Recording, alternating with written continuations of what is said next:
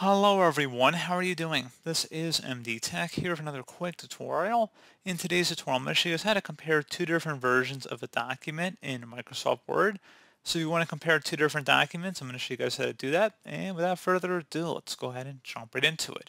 So this is document one here, as you can see by the name of the document up at the top.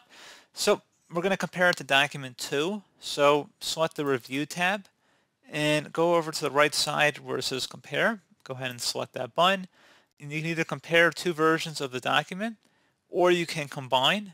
So combine revisions from multiple authors into a single document.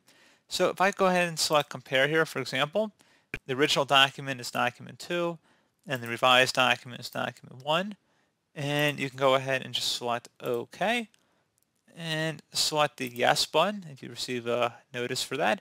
And you can go ahead and actually compare different changes that were made between both of the documents here and what the differences are. So pretty straightforward and then you can go ahead and actually accept or reject different revisions here. So by accepting it, you're going and modifying the document that you're currently working on. And then once you're done with that, you can actually go ahead and just close the secondary document here. So you just go back to having one document open.